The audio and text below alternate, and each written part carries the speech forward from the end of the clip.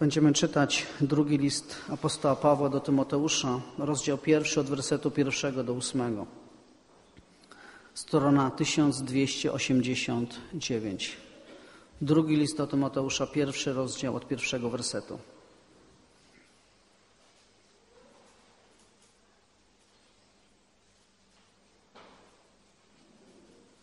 Paweł, apostoł Chrystusa Jezusa, z woli Boga, według obietnicy żywota, który jest w Chrystusie, do Tymoteusza, umiłowanego Syna, łaska, miłosierdzie i pokój od Boga Ojca i Chrystusa Jezusa, Pana naszego. Dziękuję Bogu, któremu z czystym sumieniem służę, tak jak przodkowie moi, gdy nieustannie Ciebie wspominam w modlitwach moich we dnie i w nocy. Pomny na łzy Twoje, pragnę Cię ujrzeć, abym doznał pełnej radości. Przywodzę sobie na pamięć nieobłudną wiarę Twoją, która była zadomowiona w babce Twojej Loidzie i w matce Twojej Eunice, a pewien jestem, że i w Tobie żyję. Z tego powodu przypominam Ci, abyś rozniecił na nowo dar łaski Bożej, którego udzieliłem Ci przez włożenie rąk moich. Albowiem nie dał nam Bóg ducha bojaźni, lecz mocy i miłości i powściągliwości. Nie wstydź się więc świadectwa o Panu naszym, ani mnie, więźnia Jego, ale cierp wespół ze mną dla Ewangelii, wsparty mocą Boga. Drodzy, pomiędzy apostołem Pawłem a Tymoteuszem w trakcie ich wspólnego służenia zrodziła się niebywała więź.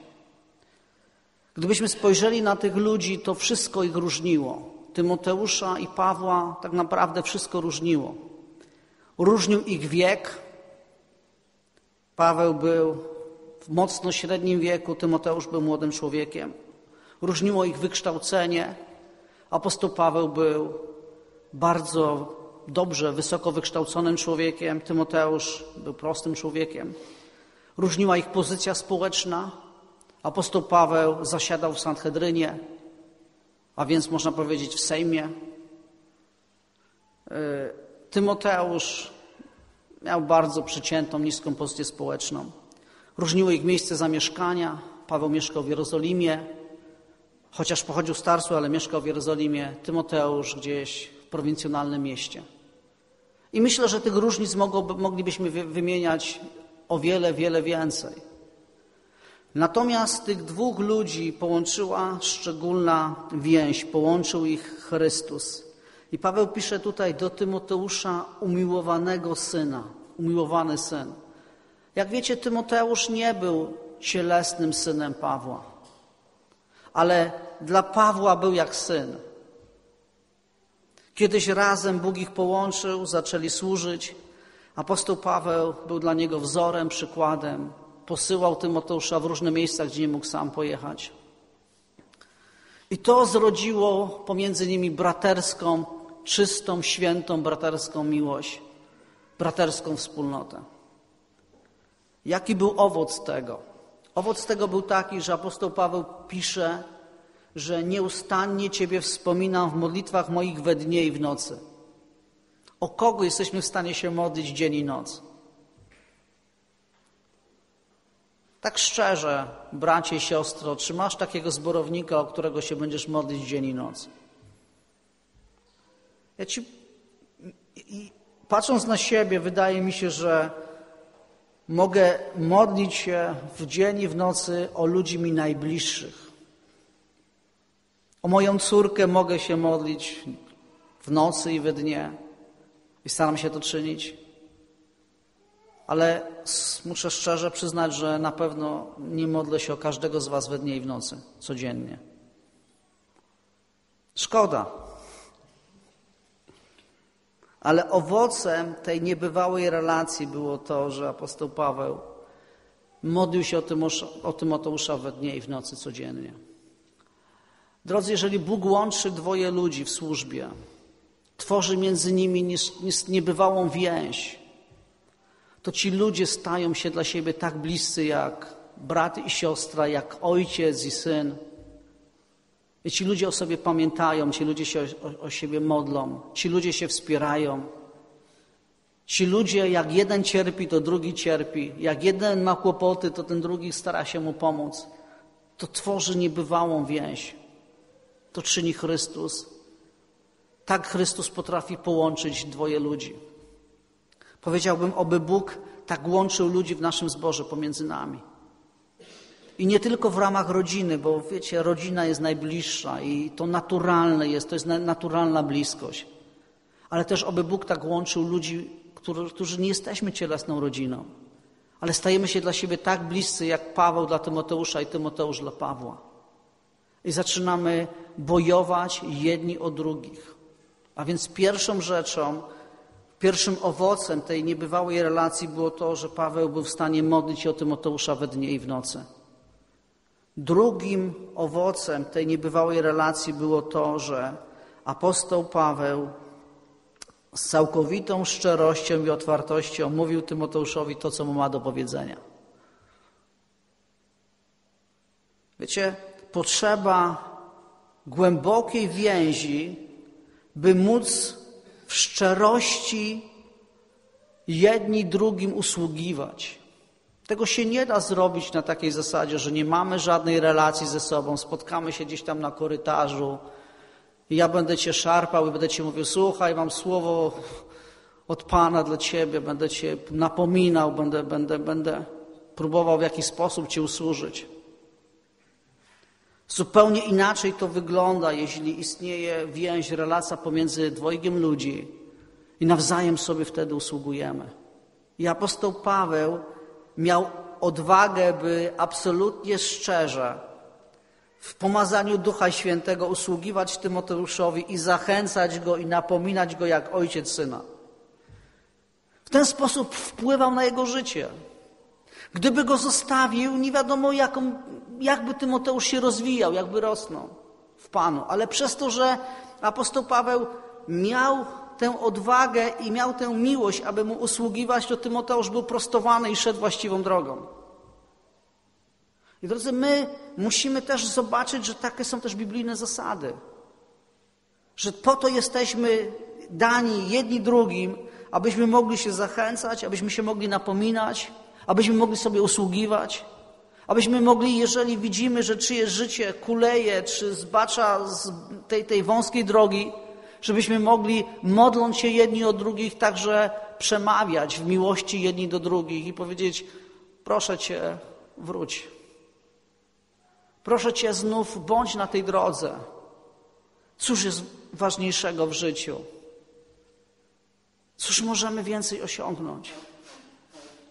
Zmierzamy wszyscy do wieczności i tam staniemy kiedyś przed naszym Panem, by każdy odebrał nagrodę za własne życie.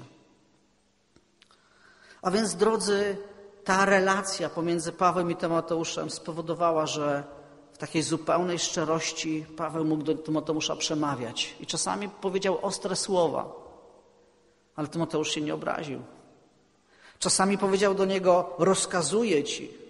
Wyobraźcie sobie, że ja przychodzę do kogoś z Was i mówię: Rozkazuję ci, jakbyś się poczuł. Ja przeważnie to tak gdzieś tam proszę kogoś, nieśmiało, może czasami trochę śmielej. Nie miałbym odwagi przyjść do kogoś i powiedzieć, rozkazuję ci, chyba że ktoś by mnie strasznie zdenerwował. Apostoł Paweł nie bał się. Jak ojciec, do, jak, jak ojciec po prostu do syna. Zabraniam ci albo nakazuję ci. I teraz apostoł Paweł ma coś Tymoteuszowi w natchnieniu Ducha Świętego ważnego do powiedzenia Skupmy się na wersecie szóstym, mianowicie mówi tak, z tego powodu przypominam Ci, abyś rozniecił na nowo dar łaski Bożej, którego udzieliłem Ci przez włożenie rąk moich. Wiecie, w życiu Tymoteusza był taki moment, on też jest opisany w pierwszym liście do Tymoteusza, był taki moment, kiedy Duch Święty przemówił i powiedział – że Tymoteusz zostaje wyposażony, że Tymoteusz otrzymuje dar łaski Bożej, aby tym darem łaski Bożej służył, usługiwał. To się stało w obecności apostoła Pawła i innych starszych i czytamy, że Paweł i starsi nałożyli na Tymoteusza ręce i ten dar łaski Bożej zaczął w nim funkcjonować. Ten dar łaski Bożej zaczął w nim pracować, zaczął w nim działać. Tymoteusz z Bożego wyznaczenia został obdarowany darem łaski Bożej i ten dar łaski Bożej w nim skutecznie działał. Jaki to był dar łaski Bożej, nie wiemy. Dlatego, że ani jeden, ani drugi list, ani dzieje apostolskie, ani żadna inna księga Nowego Testamentu wprost nie sugeruje. Możemy się domyślać, że być może był to jakiś dar z listy do Koryntian z 12 rozdziału, gdzie, są wymienione, gdzie jest wymienione dziewięć darów Ducha Świętego, poczęwszy od słowa mądrości do daru wykładania języków, że mógł to być któryś z tych darów łaski. Możemy założyć, że a być może był to jakiś dar, dar łaski związany ze służbą, apostolstwo, bycie prorokiem, ewangelistą, pasterzem, nauczycielem. A może była to jakaś, jakiś dar łaski z listu do Rzymian, z tej grupy, z tej listy darów łaski. Mianowicie, jak powiedziałem, nie wiemy, ale któryś z nadnaturalnych Bożych charyzmatów zaczął działać w życiu Tymoteusza. Kim był Tymoteusz? Tymoteusz był sługą Bożym. Powiem więcej. Tymoteusz był mężem Bożym. Kiedy popatrzymy na Nowy Testament, to zobaczymy, że Tymoteusz to jedna z najbardziej pozytywnych postaci Nowego Testamentu. Nie wiem, czy zwróciliście uwagę, ale o Tymoteuszu jest mowa częściej niż o niektórych apostołach, którzy pojawiają się tylko w pierwszych rozdziałach dzieł apostolskich, a później już o nich nic nie jest wspomniane. A Tymoteusz pojawia się w różnych, w różnych miejscach Nowego Testamentu. Apostoł Paweł wystawia mu naprawdę chlubne świadectwo. Na przykład w liście do Filipian, w drugim rozdziale apostoł Paweł o Tymoteuszu mówi w ten sposób. A mam nadzieję w Panu Jezusie, że rychło poślę do was Tymoteusza, abym i ja się ucieszył, dowiedziawszy się, co się z wami dzieje, albowiem nie mam drugiego takiego, który by się tak szczerze troszczył o was. Bo wszyscy inni szukają swego, a nie tego, co jest Chrystusa Jezusa. Wszak wiecie, że jest On wypróbowany, gdyż jak dzieciom Ojcu, tak On ze mną służył Ewangelii. A więc apostoł Paweł naprawdę wystawia Tymoteuszowi bardzo dobre świadectwo jako Bożemu słudze, jako Bożemu mężowi. I też do końca życia nigdzie nie znajdujemy w Biblii, aby Tymoteusz gdzieś zboczył, gdzieś odszedł, popadł w jakąś fałszywą doktrynę. Nic takiego nie znajdujemy. Służył do końca swoich, swoich dni. I jestem o tym przekonany, że Tymoteusz znał wartość charyzmatu, który otrzymał. Wiedział, że ten charyzmat, który został mu dany na podstawie proroczego orzeczenia Ducha Świętego, że miał wielką wartość. Kiedy ten charyzmat otrzymał, Tymoteusz tym charyzmatem usługiwał. Jeśli było to proroctwo, jeśli było to proroctwo, to miał słowo prorocze, czy do kościoła, czy do zboru, czy do poszczególnych ludzi. A jak wiemy, słowo prorocze, które jest od Boga, od Ducha Świętego wykonuje dobrą pracę w życiu. Jest, przynosi zachętę, zbudowanie, przynosi kierunek. Jeśli był to inny charyzmat, też Tymoteusz znał wartość tego charyzmatu. Czy było to słowo mądrości, czy słowo wiedzy, to używane przez niego we współpracy z Duchem Świętym przynosiło wielki pożytek i wielkie zbudowanie. Wiecie, ale coś się stało. Coś się stało w życiu tak wielkiego męża Bożego, jakim był Tymoteusz.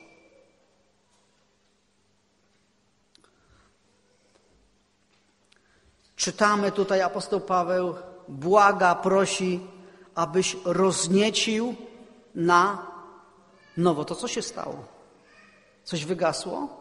abyś rozniecił na nowo dar łaski Bożej, abyś go rozpalił na nowo. Coś wygasło. Wiecie, jak to możliwe, żeby w życiu człowieka, który jest sługą, który e, przewodzi Kościołowi, usługuje Słowem Bożym, modli się z ludźmi, Przez jakiś czas usługuje charyzmatem, który został mu dany, darem łaski Bożej. Nagle apostoł Paweł stwierdza, że ten dar łaski Bożej wygasł. Że już się nie przejawia, że już nie ma, że już Tymoteusz tym nie usługuje. I na początku listu, na początku listu, y, drugiego listu, od tego zaczyna. Popatrzcie się, od tego zaczyna słowo napomnienia do Tymoteusza. Nie zostawia tego na koniec listu, tylko na początku mu już mówi: Tymoteuszu, coś złego stało się. Dar łaski Bożej, który był w tobie wygasł, musisz go na nowo rozniecić, bo w przeciwnym razie nie będziesz mógł skutecznie usługiwać. Wiecie, Tymoteusz nie stracił zbawienia, on dalej był zbawiony. Tymoteusz nie zszedł, nie odszedł od Boga, nie oddalił się. Tymoteusz dalej służył. Ale coś cennego zatracił. Bo każdy charyzmat, każdy dar łaski Bożej jest cenny. Bo Pismo Święte mówi nam, że mamy się usilnie o to starać, więc to jest coś wartościowego, ważnego i cennego. Mamy się usilnie o to starać. Myślę, że Tymoteusz absolutnie o tym wiedział. A pomimo tego w jego życiu dar łaski Bożej wygasł. Jak to możliwe? Jak to się stało?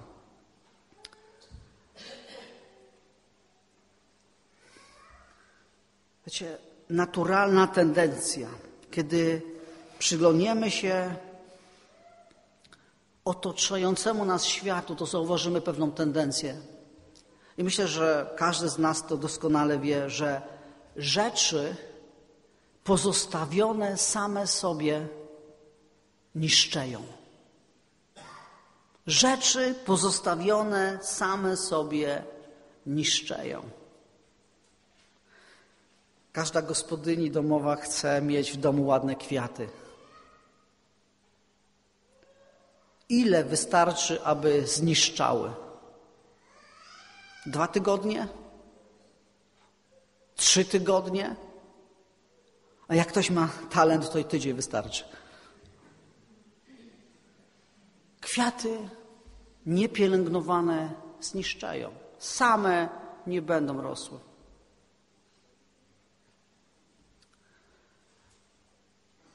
Ktoś powie, kwiat to taka, wiecie, słaba, krucha roślina. Może, może coś bardziej takiego trwałego. No to dom. Dom. Dom.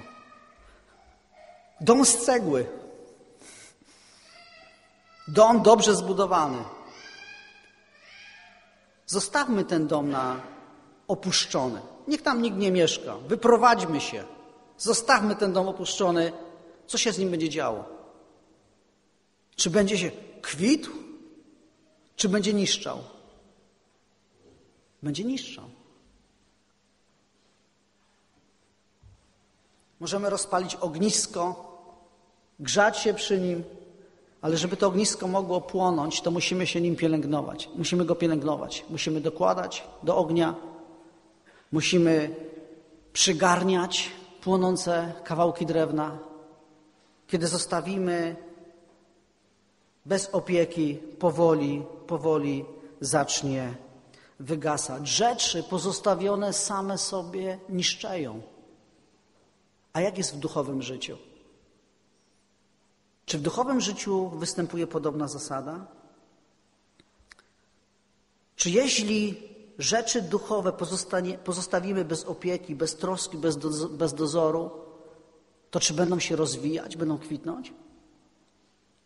zaczną niszczyć, zaczną wygasać, zaczną umierać, będą się cofać, będą się obracać w nicość. Pierwszym Tymoteusza 3,14, który koreluje z tym, o czym, o czym mówię, apostoł Paweł mówi do Tymoteusza takie słowa. Około dwa lata wcześniej mówi mu takie słowa. Nie zaniedbuj daru łaski, który masz, a który został Ci udzielony na podstawie prorockiego orzeczenia przez włożenie rąk starszych. Dwa lata wcześniej Paweł mówi mu: Nie zaniedbuj. Dwa lata później mówi mu już: roznieć na nowo. Tu nie zaniedbuj, bo tu to jeszcze działa. To jeszcze w Twoim życiu funkcjonuje. To jeszcze przynosi owoc, ale pamiętaj, nie zaniedbuj. Tymoteusz nie zastosował się do tego słowa. Nie przejął się zbytnio tym słowem, więc po dwóch latach apostoł Paweł mówi, ale teraz to już nie wystarczy nie zaniedbywać. Teraz już musisz na nowo rozniecić. Teraz już musisz na nowo rozpalić. Co to znaczy nie zaniedbywać swojego daru łaski? Myślę, że w przypadku Tymoteusza oznaczało to, że powinien modlić się, by ten dar łaski się przejawiał w jego życiu. Wtedy, kiedy usługiwał ludziom, czy na nabożeństwie, czy indywidualnie, powinien być bardzo wrażliwy i wyczulony na to, że będzie przejaw tego daru łaski, że będzie mógł odebrać coś od Boga, czym będzie mógł służyć. To oznacza, że nie będzie podchodził mechanicznie i schematycznie do rozmowy z ludźmi, ale będzie cały czas wyczulony na Ducha Świętego, aby móc odebrać coś, co jest naprawdę od Pana, coś, co jest nadnaturalne. Niezaniedbywanie oznaczało takie cały czas czujność w tym kontekście. Ale okazało się, że ten dar łaski wygasł. Drodzy, czy inne rzeczy oprócz daru łaski mogą wygasnąć w naszym życiu, w chrześcijańskim życiu. Popatrzmy na przykład na Księgę Objawienia Jana, rozdział drugi, trzeci. I tam mamy listy do kościołów, listy do zborów. Zaczyna się od listu do zboru w Efezie. Do anioła zboru w Efezie napisz, to mówi ten, który trzyma siedem gwiazd prawicy swojej, który się przechadza pośród siedmiu złotych świeczników. Znam uczynki Twojej trud i wytrwałość Twoją i wiem, że nie możesz ścierpieć złych i że co świadczyłeś tych, którzy podają się za apostołów, a nimi nie są i stwierdziłeś, że są kłamcami. Masz też wytrwałość i cierpiałeś dla imienia mego, a nie ustałeś. Lecz mam ci za złe, że porzuciłeś pierwszą Twoją miłość. To było. To nie jest coś, o co mieli dopiero walczyć. To było. I kiedy popatrzymy na początki zboru w Efezie, popatrzymy na Kościół w Efezie, to widzimy niesamowity płomień ducha, który palił się w tym kościele. Płomień ducha, który płonął w tym kościele Płomień, który rozbudził niewiarygodną miłość, która, która przepełniała serca ludzi zbawionych w mieście Efes. W ramach jednego zboru miłowali się i poganie, i Żydzi. W ramach jednego zboru, co zawsze było trudne i nigdy nie jest łatwe. Przy róż, ogromnych różnicach, jakie występują pomiędzy poganami i Żydami. Oni w ramach jednego zboru z powodu tej pierwszej wielkiej miłości, którą Duch Boży rozpalił w nich, byli w stanie funkcjonować w ramach jednego kościoła. I po pewnym czasie minęło troszeczkę lat i już Duch Święty przez apostoła Jana mówi, ta miłość wygasła.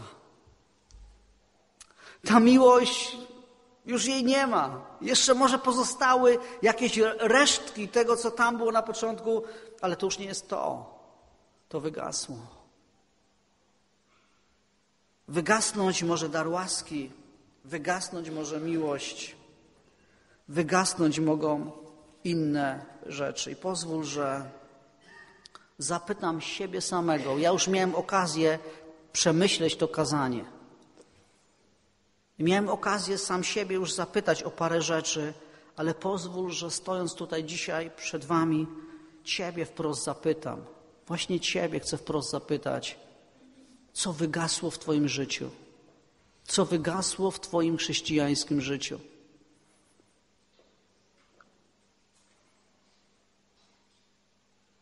Może jeszcze całkiem niedawno było to tak, że zanim poszłeś do pracy, czy poszłaś do pracy, nie było problemem wstać 20 minut wcześniej, czy pół godziny wcześniej uklęknąć, przywitać Pana, przedłożyć ten cały dzień Bogu, przeczytać psalm, przeczytać fragment z Pisma Świętego i pójść na cały dzień do pracy, do swoich obowiązków. Może tak było jeszcze kilka miesięcy temu, albo może rok, dwa lata temu, a dzisiaj już nie masz czasu rano. Dzisiaj już po prostu nie masz czasu. Dzisiaj już dośpisz do ostatniej minuty, do czwartego, do czwartej drzemki.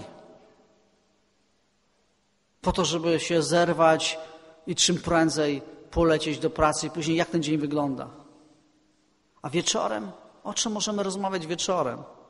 Wieczorem większość ludzi, którzy ciężko pracują, z otępiałym wzrokiem siedzi przed telewizorem, bo już na nic innego siły nie mają. A później, żeby się tylko dowlec do łóżka. Wieczorem sobie poczytam. Nie poczytasz sobie wieczorem. Wieczorem już będzie taki młyn w Twoim domu, wokół Ciebie, że, że bardzo trudno.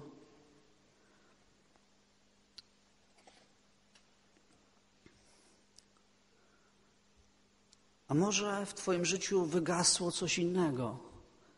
Jeszcze rok, dwa lata temu nie było problemu, by w ciągu miesiąca mieć jeden dzień postu albo dwa dni postu.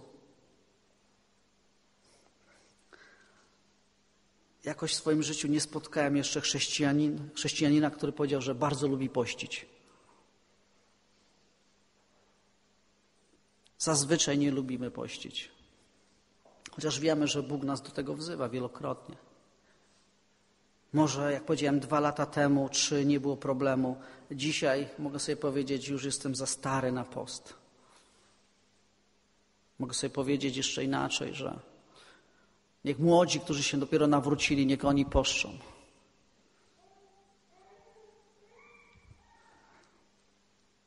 To zawsze jest walka i bój. Zawsze moje doświadczenia są takie, że zawsze jest zły dzień na post. W tygodniu nie ma ani jednego dobrego dnia. Sobota jest bardzo zła, niedziela to już jest tragiczna. Poniedziałek się w ogóle nie nadaje. Wtorek też nie jest zbyt dobry. Albo kładę wszystko na, na jedną szalę, albo zawsze będę miał usprawiedliwienie i wymówkę.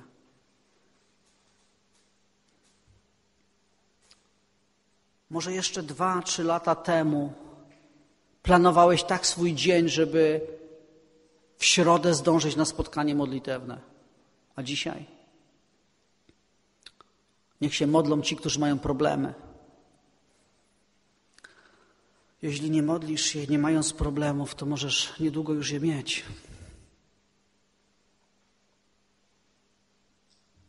Niedługo mogą przyjść. Bo czas na modlitwę nie tylko jest wtedy, kiedy są problemy, ale czas na modlitwę jest wtedy, kiedy problemów nie ma. A wtedy jest najłatwiej odpocząć. Wtedy jest najłatwiej się wyciszyć, zapomnieć. I tak dalej, i tak dalej. Co wygasło w Twoim życiu, bracie, siostro? Zanim stanąłem przed Wami, musiałem sam sobie zadawać te pytania, by być szczery i uczciwy przed Wami co wygasło w moim życiu, do czego dzisiaj już mam mniej siły i mniej motywacji. Obowiązków mam więcej, zdecydowanie. Ale nie chcę, żeby mnie obowiązki pochłonęły i, zabrały mi to, co cenne, to, co wartościowe.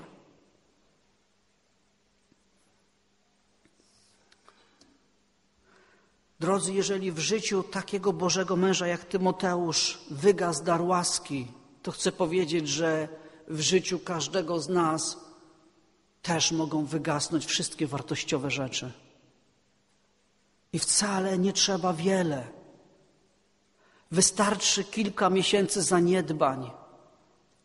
Wystarczy kilka miesięcy, że odpuścimy sobie w duchowym życiu. Później podnieść jest bardzo ciężko i bardzo trudno. A co wygasło w naszym zborze? Takie pytanie też sobie postawiłem. Odniosłem to do, najpierw sobie, zadałem pytanie, a później zadałem to pytanie w kontekście zboru. A co wygasło w naszym zborze? Jesteśmy dalej Kościołem Pańskim, staramy się służyć Bogu. Widzę ludzi, którzy z oddaniem, z poświęceniem pracują na rzecz tego zboru. Jestem wdzięczny Bogu za nich. Mógłbym wymieniać, ale nie chcę tych ludzi wymieniać. Znacie ich, widzicie ich. Wiecie, ci z nas, którzy byli w środę na spotkaniu tutaj modlitewnym, które zostało przemienione na ewangelizację z bratem naszym drogim w Chrystusie Piotrem Stępniakiem. Nie wiem, jak wy przeżyliście to nabożeństwo. Myślę, że większość z was była na tym nabożeństwie. Może kilka osób czy kilkanaście nie było, ale zdecydowana większość była z was. Próbowałem sobie później przypomnieć, kiedy ostatnio mieliśmy w naszym zborze ewangelizację. I nie mogłem sobie przypomnieć. Próbowałem sobie przypomnieć, a ja, może wy tego nie wiecie, ale ja robię sobie różne notatki z życia Kościoła. Wpisuję datę i mówię i pisz, piszę w swoich notatkach, że w tym i w tym dniu to się i to się wydarzyło. To miało miejsce. To jest taka prowadzona przeze mnie kronika zborowa.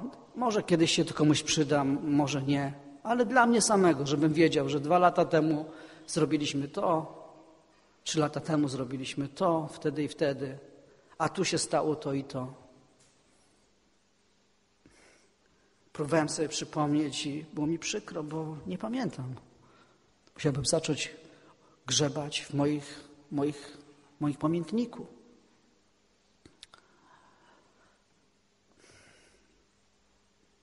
Wiecie, a tak, a tak nam dobrze było. A tak nam dobrze było, kiedy mogliśmy słyszeć o Bożych dziełach, kiedy mogliśmy słyszeć o Bożym działaniu, kiedyśmy mogli widzieć, jak ktoś wstaje i wychodzi do modlitwy na wezwanie, czy chcesz swoje życie powierzyć Chrystusowi, czy chcesz, aby Bóg przebaczył Twoje grzechy, czy chcesz się opamiętać.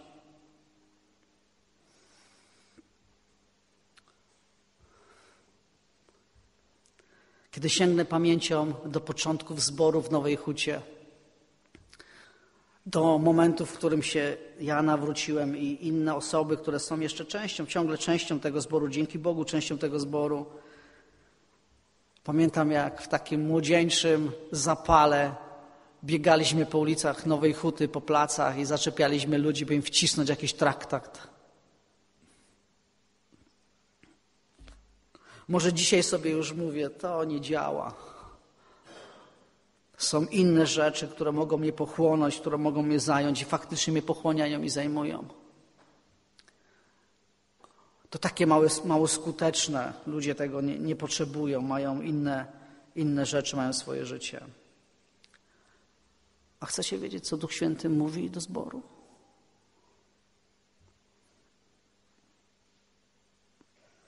Co Duch Święty mówi do mego serca odnośnie zboru w Nowej Hucie? Duch Święty przekonuje mnie, mówi do mnie: Dałem Wam to miejsce, abyście głosili Chrystusa temu miastu. Dałem Wam to miejsce, abyście głosili Chrystusa temu miastu. Myślicie, że ja wiem jak? Nie wiem jak.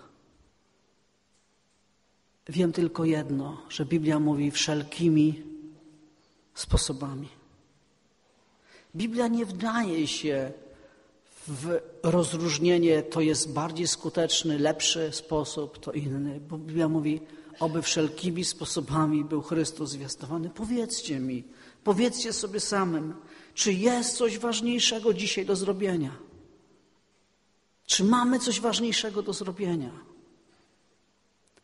Gdy uczciwie na to spojrzę, to muszę powiedzieć uczciwie, nie mamy nic ważniejszego do zrobienia.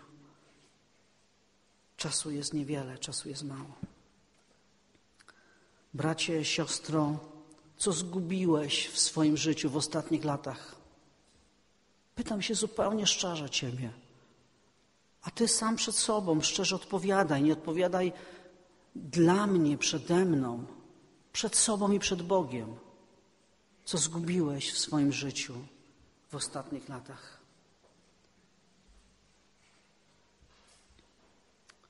Jak rozpalić na nowo? Jak rozniecić na nowo? Jak rozgrzać na nowo? Jak to jest możliwe? Kiedy myślałem o tym obrazie, bo tutaj to słowo, które występuje u Tymoteusza, to jest rozpalić, rozgrzać na nowo, ono się odnosi do ognia, do ogniska, rozpalić, rozgrzać na nowo. Kiedy popatrzyłem na zbór jako na ognisko, na płonący, płonący, płonący ogień, to pierwsza rzecz, jaka mi przychodzi do, do głowy, to, że jeśli ogień wygasa, to pierwsze trzeba zagarnąć razem, zbliżyć się. Wiecie, jak się gasi ogniska? Ogniska się gasi między innymi w ten sposób, że co się robi? Rozgarnia się wszystko na boki. I chcę powiedzieć, że jestem o tym przekonany, że diabeł jest tym, który rozgarnia Kościół. Taki Kościół, który jest roz, roz, tak w ten sposób rozgarnięty, nazwijmy to, tam się nic nie będzie palić, tam nic nie będzie płonąć. To będzie wszystko dogasać. Duch Święty najpierw chce to wszystko zebrać razem, scalić. Pan Jezus powiedział kiedyś do Jerozolimy, kiedy płakał nad nią, tyle razy chciałem zgromadzić pisklęta Twoje jak kokosz. Chciałem was zebrać razem, a co? Nie chcieliście. Diabeł przychodzi po to, żeby rozpraszać. Jezus przychodzi po to, żeby zbierać. Kościół, który jest razem, dopiero staje się narzędziem i drugim, drugim elementem, który przychodzi mi na myśl, jak rozpalić ogień, to jest to, że jest potrzebny wiatr. Najczęściej co robimy, dmuchamy. Kiedy ogień przygasa, nagarniamy, zagarniamy do siebie, a później co robimy? Dmuchamy.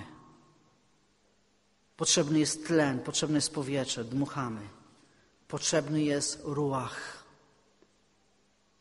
Po hebrajsku wiatr. W języku greckim pneuma, a w języku polskim duch.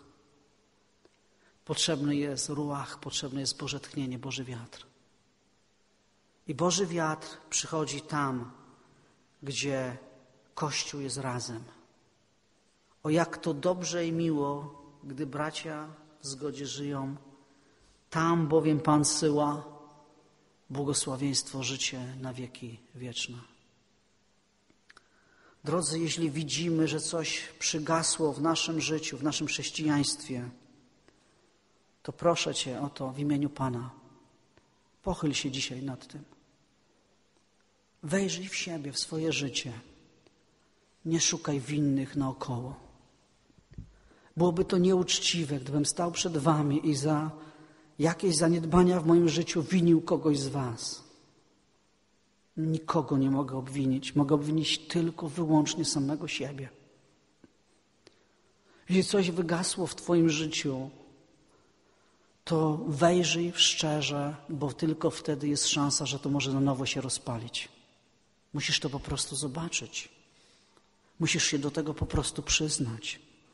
Musisz powiedzieć: Panie, zagasło. Proszę Cię, rozpal na nowo. Błagam Cię, rozpal na nowo. Rozpal to na nowo. A jeśli coś nam wygasło w kościele, w zborze, to musimy razem się złapać za ręce, razem i powiedzieć sobie: Nie ma nic ważniejszego na dzisiaj. Nie ma nic ważniejszego na dzisiaj. Najważniejsze na dzisiaj jest to, aby wszelkimi sposobami Chrystus był zwiastowany. I moim pragnieniem jest, aby z tego miejsca, na tej sali, z tej kazalnicy, w tym miejscu jak najczęściej Chrystus był zwiastowany. Jak najczęściej była dana ludziom możliwość, aby się mogli upamiętać i przyjść do Boga w swoim życiu i znaleźć zbawienie i znaleźć szczęście wieczne. i zna, znaleźć to, co Bóg przeznaczył dla człowieka. Chcę Was zaprosić do modlitwy, kochani. Chciałbym, żebyśmy razem się mogli modlić.